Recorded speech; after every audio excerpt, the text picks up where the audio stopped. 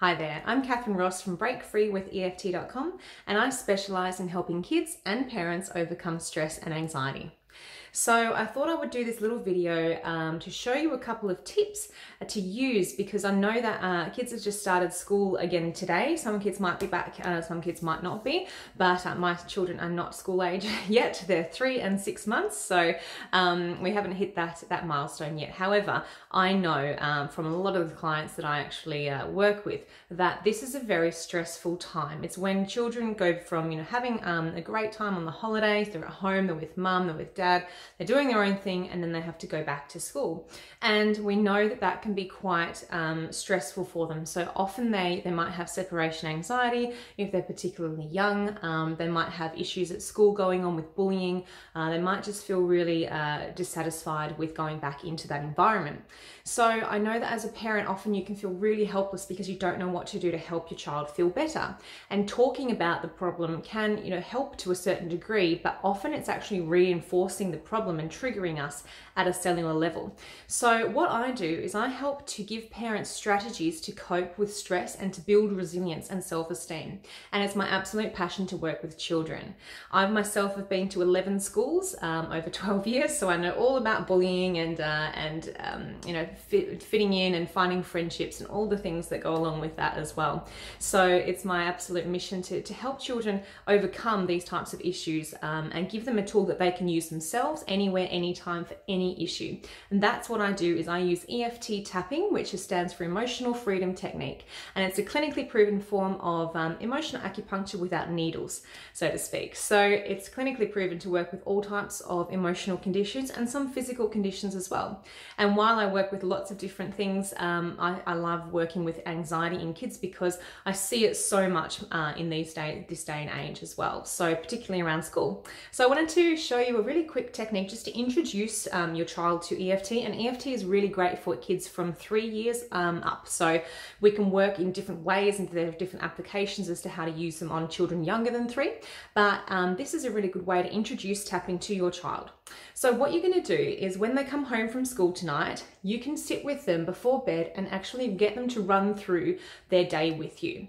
And while they're doing that, you're going to be tapping on their acupressure points. So that's what EFT is, is that we're actually tapping on acupressure points on our face and upper body while we're talking about the problem. And while that might feel really, really strange talking about the issue, um, thinking, oh no, we're going to reinforce the negative, it's actually clearing what it is that is going on for us while we're tapping. So that's the benefit of it. It's, a, it's subconscious work and it's actually clearing these issues as we're tapping and talking.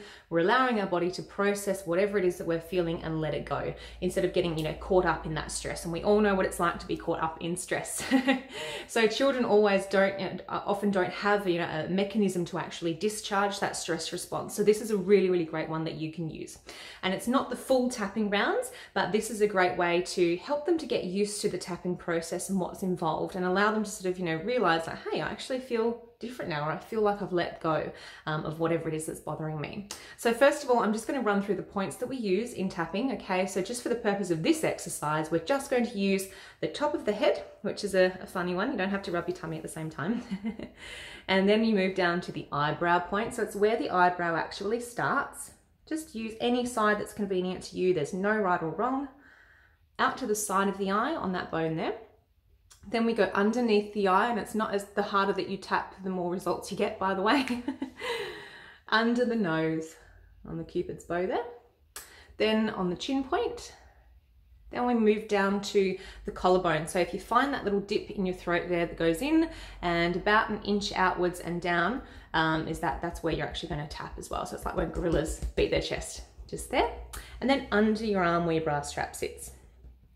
So those are the points that we're going to use in this exercise. So tonight what I want you to have a go at is talk to your child, um, and depending on how open they are to, to speaking with you about their day. Obviously, if you're dealing with teenage boys, it's a different issue, um, and I have a book on that, so you can do you can do those exercises with them. But um, this is a is something that I want you to do is to actually ask them what were the best and worst parts of their day. All right, so when they're in bed, they're nice and settled. I want you to get them to go through the day with you, and as they're doing that, you can actually be tapping on them or you can be tapping on yourself and getting them to follow through with you. So you can have them tap on themselves or you can physically tap on them.